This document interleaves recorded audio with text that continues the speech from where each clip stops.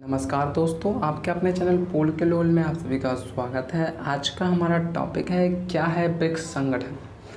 आज के इस वीडियो में हम जानेंगे कि ब्रिक्स क्या है और साथ में समझेंगे कि ब्रिक्स के अंतर्गत कौन कौन से सदस्य देश हैं। तो चलिए टॉपिक की शुरुआत करते हैं। सबसे पहले बात करते हैं, क्या है ब्रिक्स संगठन? तो जैसा कि आपको नाम दिख रहा है B R I C S BRICS, जैसा कि नाम से इनके सदस्य देशों के भी नाम क्लियर हो रहे हैं। बी से ब्राज़ील। बी से ब्राज़ील आर से रूस आई से इंडिया, भारत सी से चीन और एस से साउथ अफ्रीका। ब्राज़ील, रूस, इंडिया, चीन, साउथ अफ्रीका। ये पाँच देश इसके सदस्य देश हैं तो चलिए अब इनको डिटेल में जानते हैं। तो ब्राज़ील, रूस, भारत, चीन और दक्षिण अफ्रीका के संगठन को संयुक्त रूप से ब्रिक्स कहते हैं। इस संगठन की स्थापना जो है 2006 में हुई थी। पहले इसका नाम ब्रिक था। पहले इसका नाम बी आर आई सी था। ब्रिक क्यों था? क्योंकि इसमें सिर्फ़ चार सदस्य देश शामिल थे। ब्राज़ील, रूस, इंडिया और चीन। और जो एस लगा, वो साउथ अफ्रीका के आने से लगा, यानी दक्षिण अफ्रीका के। तो इसको समझते हैं कि इसकी शुरुआत जो है दो हज़ार छः में हुई और इसका पहला नाम ब्रिक था। बाद में जाके ब्रिक्स हुआ, क्योंकि इसमें चार सदस्य थे। दक्षिण अफ्रीका को शामिल किया गया, लेकिन बाद में। हर साल ब्रिक्स देशों का सालाना सम्मेलन होता है, जिसमें इनके शीर्ष नेता शामिल होते हैं। हर साल एवरी ईयर इनका एक सम्मेलन होता है, जिनमें इन, इनके शीर्ष नेता शामिल होते हैं इन देशों के। तो अगले वर्ष भी हुआ था तेरह से चौदह नवंबर 2019 को। 2019 को हुआ था और कहाँ पे हुआ था? वो ब्राज़ील में हुआ था, ब्राज़ील की राजधानी में हुआ था। ये काफ़ी महत्वपूर्ण है। अब जब हमने वृक्ष समझ लिया है अच्छे तरीके से तो अब इसका उद्देश्य समझना भी बहुत ज़्यादा ज़रूरी है। तो अब हम उद्देश्य समझते हैं कि उद्देश्य क्या है। तो वृक्ष का उद्देश्य अधिक स्थायी न्याय संगत और पारस्परिक रूप से लाभकारी विकास के लिए एक समूह के साथ साथ अलग अलग देशों के बीच सहयोग को व्यापक स्तर पर आगे बढ़ाना है। यानी जो वृक्ष का उद्देश्य है वो विकास के लिए समूहों के साथ साथ अलग देशों के बीच भी अलग अलग देशों के बीच भी सहयोग को बढ़ावा देना है, व्यापक स्तर पर आगे बढ़ाना है। ब्रिक्स के द्वारा प्रत्येक सदस्य की आर्थिक स्थिति और विकास को ध्यान में रखा जाता है ताकि संबंधित देश की आर्थिक ताकत के आधार पर संबंध बनाया जाए और जहाँ तक संभव हो सके प्रतियोगिता से बचाया जाए। इस संगठन के द्वारा आर्थिक स्थिति को ध्यान में रखा जाता है ताकि जो आर्थिक स्थिति के आधार पर ही किसी संबंधित देशों के साथ संबंध बनाया जाए और जिससे कि उस देश के साथ प्रतियोगिता से बचाया जाए। और ब्रिक्स के विभिन्न वित्तीय उद्देश्य के साथ एक नए और आशाजनक राजनीतिक राजनयिक इकाई के रूप में उभरा है। वैश्विक वित्तीय संस्थान में सुधार के मूल उद्देश्य से परे है। इसका कहने का मतलब एन है। एनडीबी यानी न्यू डेवलपमेंट बैंक, जिसकी हम चर्चा अगले नेक्स्ट वीडियो में करेंगे।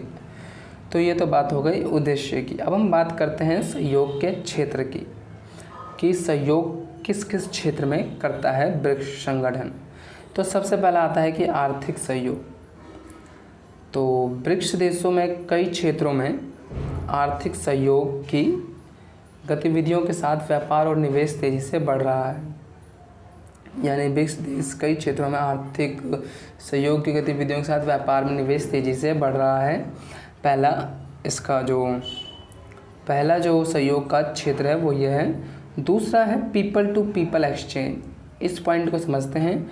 यानी ब्रिक्स सदस्यों ने पीपल टू पीपल एक्सचेंज को मज़बूत करने और संस्कृति, खेल, शिक्षा, फ़िल्म आदि क्षेत्र तथा युवाओं के निकट सहयोग को बढ़ावा देने की आवश्यकता को पहचाना है।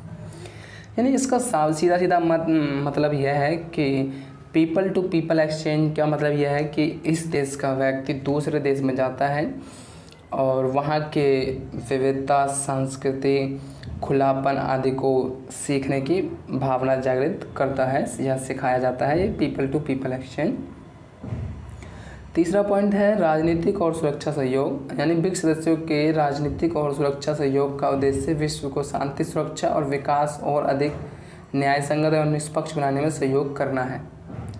ये इसके तीसरे सहयोग का क्षेत्र है। अब हम बात करेंगे चुनौतियों की। यानी चुनौतियाँ क्या है ब्रिक्स संगठन के लिए? क्योंकि चुनौतियाँ काफ़ी ज़्यादा महत्वपूर्ण रखती हैं इसमें। तो जो सबसे पहली जो चुनौती है वो तीन बड़े देश, रूस, चीन, भारत। आर सी आई। ये तीन बड़े देश अपने अपने हित के ब्रिक्स के लिए चुनौती हैं। दुनिया भर के बड़े उभरते बाज़ारों में प्रतिनिधि बनाने के लिए ब्रिक्स को बहुमहाद्वीपीय होना चाहिए। अन्य क्षेत्र और महाद्वीपों से भी इसके सदस्य बनाने पर विचार करना चाहिए। इसने ये पॉइंट सही की कि इसमें सिर्फ़ तीन ही बड़े जो देश हैं वो हैं, वो अपने हित के लिए ब्रिक्स के लिए खुद एक चुनौती हैं, जो कि आर सी आई है। ये खुद अपने हित के लिए ब्रिक्स संगठन के लिए एक चुनौती हैं। अदर, यानी बहु महाद्वीपों से भी इसके सदस्यों पर, सदस्य बनाने पर विचार करने चाहिए। ब्रिक्स को वैश्विक रूप से ब्रिक्स को वैश्विक रूप से प्रासंगिकता बढ़ाने के लिए अपने एजेंडे का विस्तार करने की आवश्यकता होगी। अभी तक जलवायु परिवर्तन और वित्त विकास आधारभूत संरचना में निर्माण को ही एजेंडा की में प्रमुखता मिली हुई है।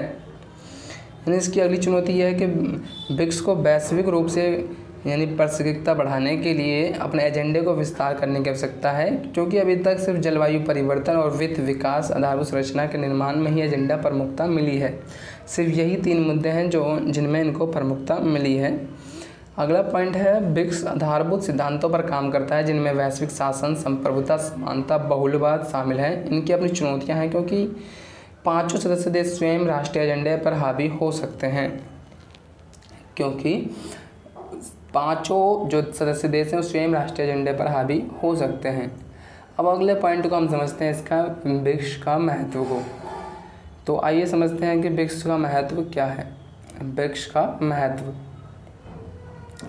तो गौरतलब है कि एक समूह के रूप में ब्रिक्स दुनिया की बयालीस प्रतिशत आबादी वाली पाँच प्रमुख उभरती अर्थव्यवस्था को एक साथ लाता है।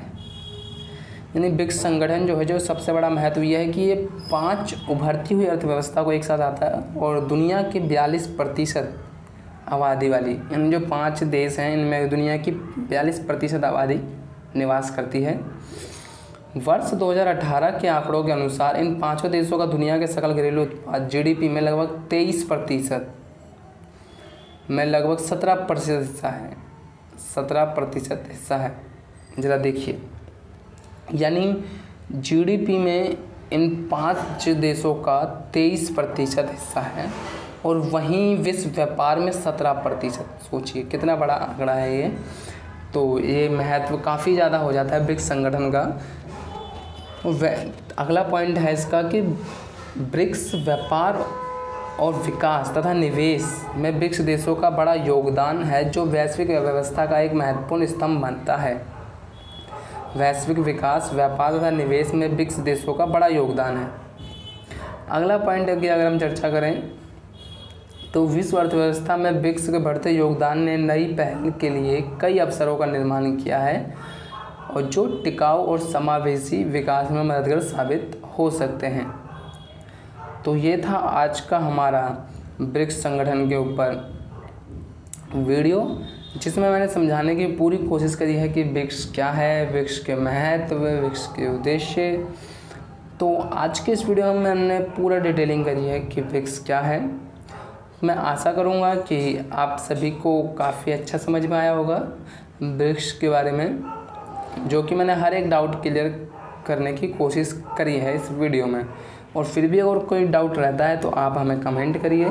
कमेंट करके ज़रूर पूछिएगा। साथ में अगर वीडियो अच्छी लगी हो तो लाइक करें सब्सक्राइब करें और अपने दोस्तों के साथ शेयर करना ना भूलें। धन्यवाद।